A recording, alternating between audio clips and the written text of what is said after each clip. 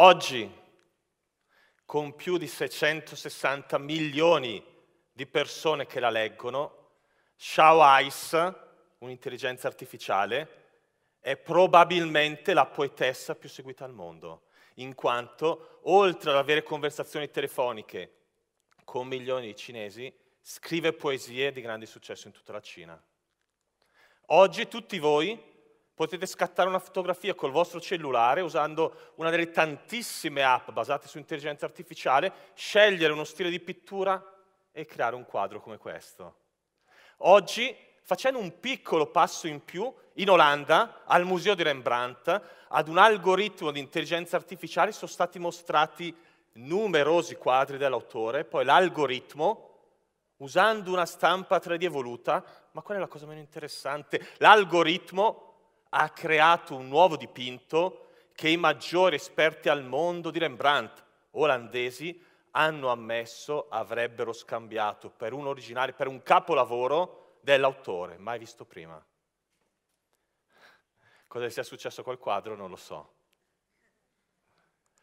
Oggi, ovviamente, la musica che avete ascoltato prima che iniziasse a parlare è stata pure composta dall'intelligenza artificiale e anche Xiao Ais in Cina compone spesso dei brani musicali oltre ad avere la propria trasmissione televisiva.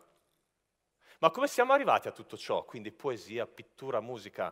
Ancora oggi, quando si parla di intelligenza artificiale, alcune volte si pensa ad un computer capace di calcolare 200 milioni di mosse al secondo che ha battuto il campione mondiale di scacchi. È vero, Quel computer si chiamava Deep Blue, quel campione di scacchi si chiamava Kasparov, ma quell'anno era il 1997. Erano 22 anni fa. Era un computer preistorico.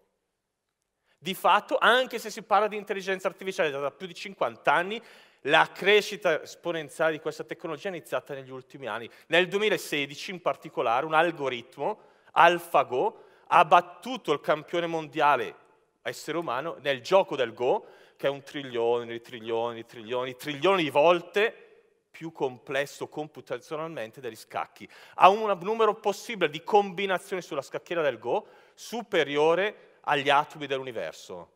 Quello che è stato fatto qua è stato dare all'algoritmo le regole del gioco. L'algoritmo per tre ore ha giocato contro se stesso e ha battuto il campione mondiale.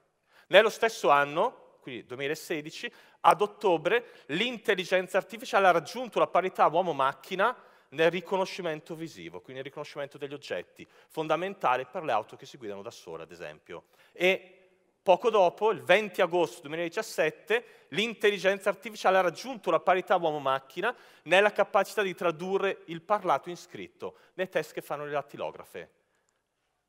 L'anno scorso l'intelligenza artificiale ha raggiunto la parità uomo-macchina nella capacità degli algoritmi di rispondere a domande generiche su test Wikipedia, quindi si chiama Stanford Test. E ora l'intelligenza artificiale ha raggiunto la parità uomo-macchina nella capacità di tradurre dal cinese alle lingue occidentali. Quindi se volete potete usare questa tecnologia per leggere Sunshine, che è l'ultimo libro di poesie scritto da Ice in Cina.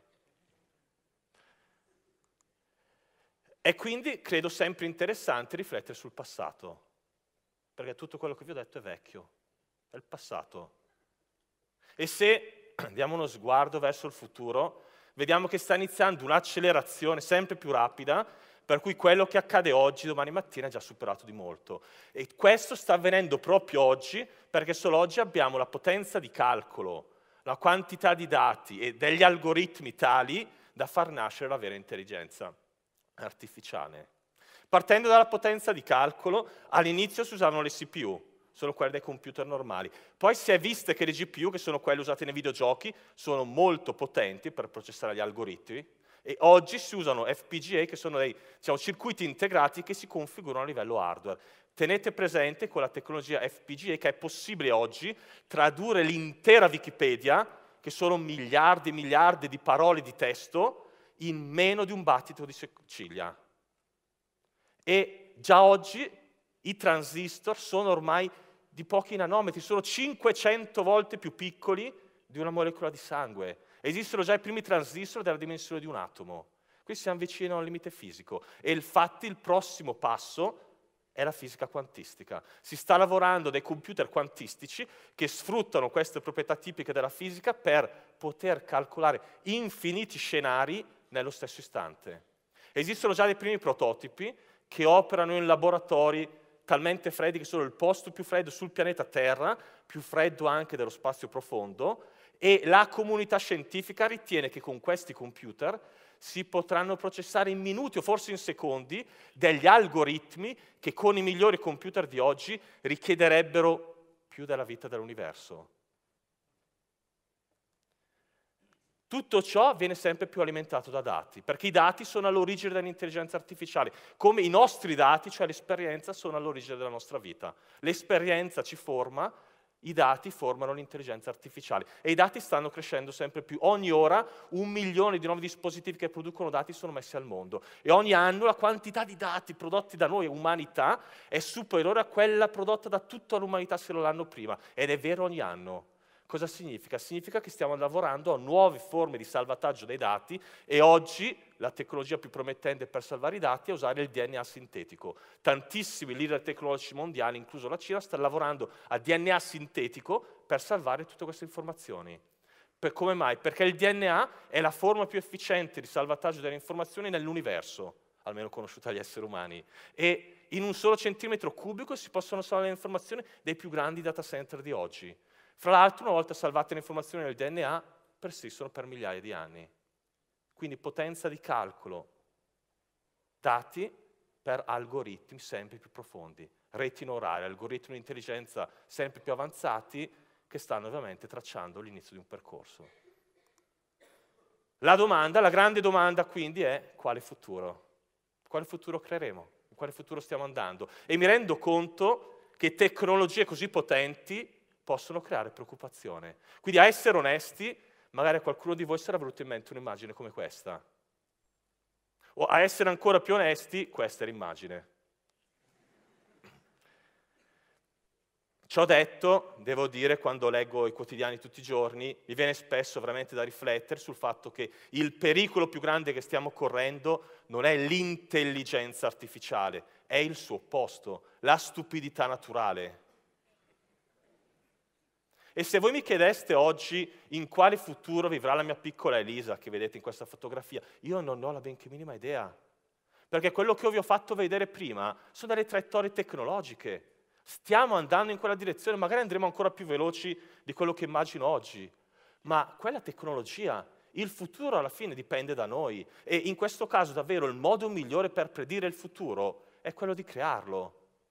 E per moltissimi anni saremo ancora noi, esseri umani, a creare questa tecnologia, spesso con successo, altre volte si spera imparando dai nostri errori. Per moltissimi anni saremo ancora noi, esseri umani, a decidere quando usare questa tecnologia, ma ancora più importante quando non usarla, come usarla e come distribuirne i benefici. Perché Sempre più si può usare questa tecnologia, ad esempio, per aumentare la redditività agricola, usando meno acqua, meno pesticidi. Ma una volta che ho prodotto più cibo, usando l'intelligenza artificiale, tocca a noi esseri umani decidere se quel cibo rimane a pochi o viene distribuito a tutto il pianeta. Non lo decide l'intelligenza artificiale. E ancora per moltissimi anni saremo noi, esseri umani, a insegnare questa tecnologia, perché è una tecnologia che impara impara da noi. Stiamo veramente andando in un nuovo mondo dove da un passato dove noi dovevamo imparare a te- capire la tecnologia, a capire computer anche con interfacce complicate, a un nuovo mondo dove l'intelligenza artificiale, le macchine stanno imparando a capire noi. Quando parliamo, quando gesticoliamo e nell'imparare a capire noi imparano anche le cose negative che ci caratterizzano. Se oggi usassimo un algoritmo di intelligenza artificiale nella maggior parte delle aziende, direi ovunque nel mondo, per decidere chi assumere o chi promuovere, l'intelligenza artificiale imparerebbe al volo a promuovere o assumere uomini bianchi. Ma non è colpa dell'intelligenza artificiale, guarderebbe i dati di quell'azienda e hanno fatto carriera di solito uomini bianchi. Si viene usata questa tecnologia in alcuni contesti per decidere o per suggerire delle pene giudiziarie, si è visto che questa tecnologia può imparare il razzismo, può imparare addirittura la corruzione, se i dati includono la corruzione. È scaduto. E... Però qua c'è una grande opportunità, di nuovo, perché se questa tecnologia impara da noi, noi possiamo anche entrare nella tecnologia, nell'algoritmo e se togliamo il fatto di tener conto del colore della pelle, se entriamo e decidiamo che il sesso non deve essere una discriminante nel promuovere o assumere qualcuno, se entriamo e togliamo il fatto che le relazioni personali, quindi la corruzione, influenzano la decisione, ecco che a quel punto l'algoritmo lo fa davvero, perché non ha un subconscio. Sempre più in questo percorso stiamo andando in un mondo dove l'intelligenza artificiale sarà come l'elettricità. Ovunque oggi, qualsiasi cosa facciamo, più o meno usiamo l'elettricità, la stessa identica cosa accadrà con l'intelligenza artificiale. Quando lavoriamo in tutti i lavori, a casa con la domotica, quando ci spostiamo con le auto che si guidano da sole e simili, addirittura, lo dico, addirittura nella pubblica amministrazione. E qua sto entrando nella fantascienza, mi rendo conto, sono un po'... Allo stesso modo, continuando su questo confronto col periodo dell'elettricità, all'inizio l'elettricità è stata usata per fare le stesse cose che si facevano prima. Io in fabbrica avevo un motore a vapore, lo sostituisco con un motore elettrico senza cambiare nulla, un po' più efficiente. Poi, da Ford e Taylor in poi, si è visto, che con l'elettricità io posso trasformare tutta la fabbrica. Questo è esattamente quello che sta avvenendo oggi con l'intelligenza artificiale spesso all'inizio viene usata per automatizzare, per sostituire. Poi finalmente tante aziende e ricercatori la stanno usando per creare il futuro. È indubbio che qua ponga una sfida enorme perché c'è un tema temporale di prima e dopo, ma soprattutto tutte le competenze che non servono più perché ho automatizzato sono molto diverse dalle competenze che servono poi quando sto costruendo il futuro. E infatti la sfida delle competenze è la più importante che avremo da affrontare nel mondo del lavoro. In tutto ciò la cosa che a me piace è vedere come stiamo andando verso un futuro di collaborazione uomo-macchina. Siamo partiti con gli scacchi, vi ricordate, nel 1997. A me piace ancora giocare a scacchi, ma soprattutto oggi i campioni mondiali o i giocatori umani che giocano a scacchi usando un algoritmo vincono contro l'algoritmo e vincono contro gli esseri umani.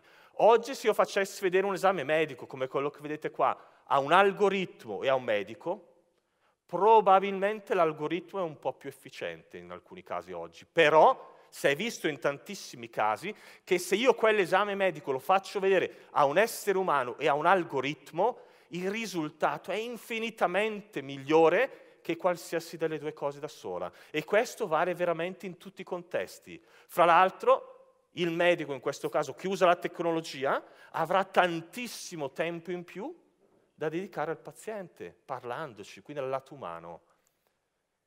E in questo percorso di continua collaborazione ed evoluzione è sicuro che tutto quello che si può automatizzare, ricordatelo, sarà automatizzato.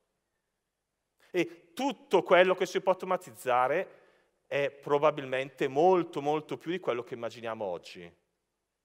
Allo stesso tempo, proseguendo in questo percorso, sarà sempre più importante per tutti noi concentrarci su ciò che ci rende davvero esseri umani, ovvero l'empatia, i principi, i nostri valori, in base ai quali costruiremo, addestreremo, utilizzeremo questa tecnologia. E sicuramente l'intelligenza artificiale ci darà un potere immenso. E come diceva Benjamin Parker, zio Peter, al nipote Peter, da grande potere derivano grandi responsabilità. Il che significa per tutti noi che dal grande potere che questa tecnologia ci darà nell'amplificare la nostra intelligenza, ne deriva una grandissima responsabilità per tutti noi nell'amplificare sempre più anche il nostro cuore. Grazie mille.